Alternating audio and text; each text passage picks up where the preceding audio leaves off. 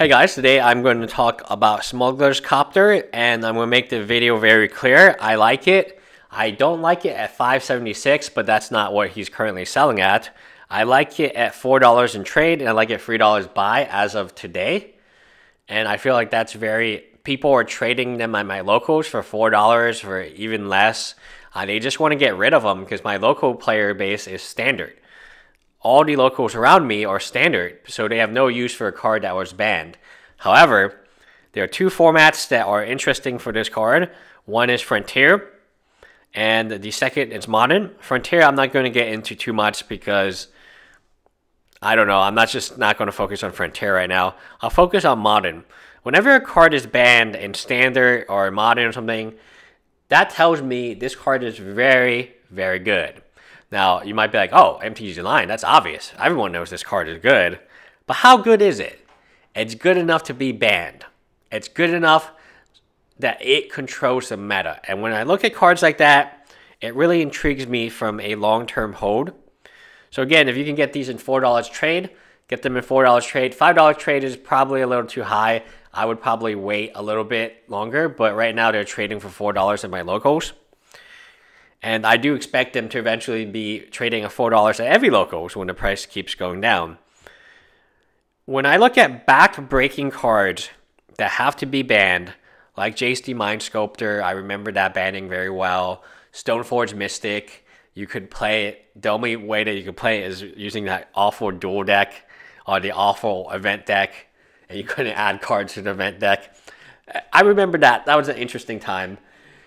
I like it a ton because that just tells me that power level is pushed.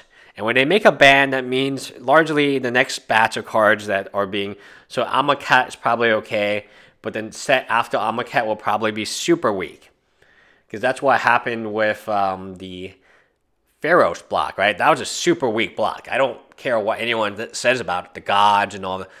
Man, the cards sucked. Like, I'm not going to lie. Man, the cards sucked. And Battle for Zendikar was an awful set. So what happens is they push the power level, then they're like, oh, like with Abrupt Decay, RTR was very good. Uh, Deathrite Shaman, which is banned in Modern, is was very good. Then they push the power level of cards, and then they're like, oh, cool. Well, this card is too strong. We need to ban it or we need to get rid of it. Thank goodness it rotated out. And the next few sets that we're going to create will be super weak super duper weak. I mean, Journey into Nyx, that was really bad. And that's just how Magic goes. It goes in cycles.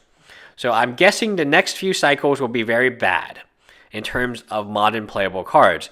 Meaning, Smuggler's Copter, although it does not see so much play modern right now, is interesting because its power level is insane. And we have to talk about another factor that I always look at is meta. One of the best lessons I've learned, and I would take an example of this, is pick the card that is not in meta, but it's very strong.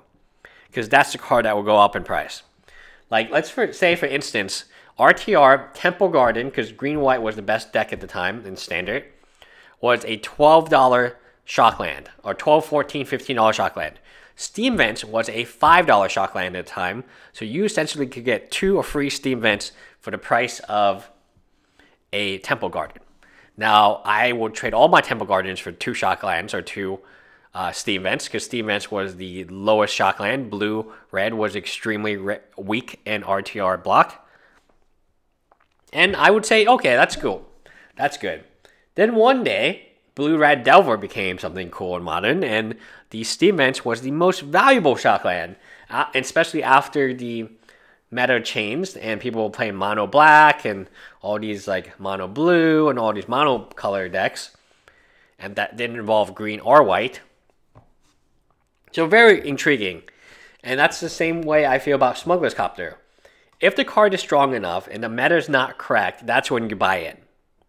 You don't buy a card that's very strong and the meta is like promoting it. The meta means what decks are playing it. Tarmogoyf is very, very strong, but the current meta makes it extremely weak.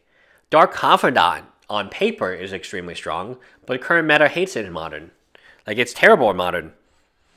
And Tarmogoyf is not any better. It's Tarmogoyf like sees top play top eight decks once in a blue moon or something like that. But its power level is insane. It's only gonna get stronger. This is Smuggler's Copter. I my gut feeling is it will only get stronger in time. And it is a very, very pushed card, and we are not going to see that many push cards moving forward.